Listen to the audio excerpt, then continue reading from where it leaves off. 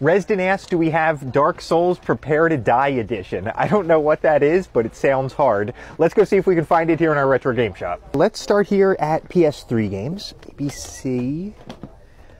Dante's Inferno. Wait, wait. Here's Dark Souls. What's this one say? Normal Dark Souls. And what's this? The Darkness 2. Here's some Xbox 360 stuff. Dance Central.